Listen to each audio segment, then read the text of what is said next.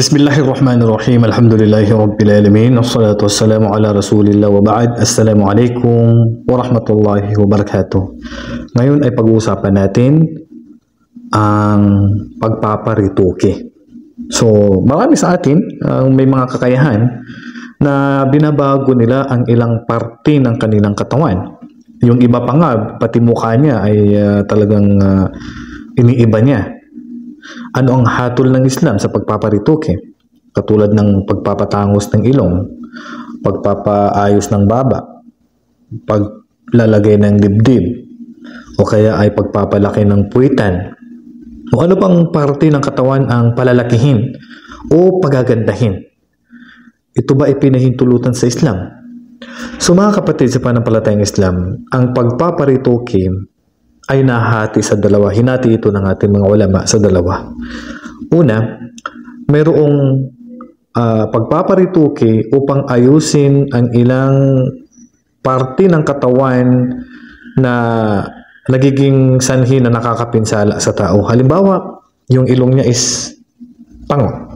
So hirap hindi hirap siyang makahinga. So dito pwedeng ah, dagdagan yung ano ba yan, operahan para lumaki ang butas ng kanyang ilong. Tinanong din ang Luzina ad-Daima sa pamumuno ni Sheikh bin Baz, rahimahullah, kung halimbawa isang babae hindi makahinga dahil sa yung ilong niya malapad tapos pa, paliitin para makahinga siya na mabuti. So, kung yun ang layunin sa pagpaparituki niya, pagpapaopera, walang problema.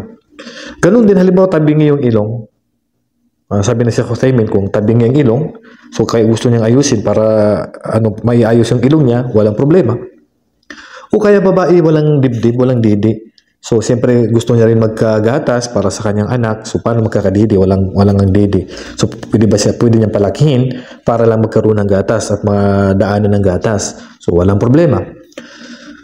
Pero, yung hindi po kailangan gawin, katulad halimbawa gusto magpagwapo, patatangusin ng ilong, dadagdagan yung baba, Ah, yung dib, mayroon ng dibdib pero pas, palalakihin pa. Yung puwita niya palalakihin pa. Subhanallah. Ito po ay haram. At ito po ay kasumpa-sumpa po. Dahil kabilang yan sa mga ah, magbabago po sa likha sa ng Allah subhanahu wa ta'ala. Katulad ng sabi ng propeta sallallahu alaihi wasallam, al-washimat wal mustashimat wal namisat wal mutanamisat sa dulo al-mughayirati khalqallah. So ito yung mga sinumpa, yung mga nagpapatato, nagpapaputi na habang kumbaga panghabang buhay na yung kaputian, nagpapa-inject, nagpaparituke, binabago yung likha sa kanila ng Allah, yan po ay haram, kayo po ay sinusumpa po.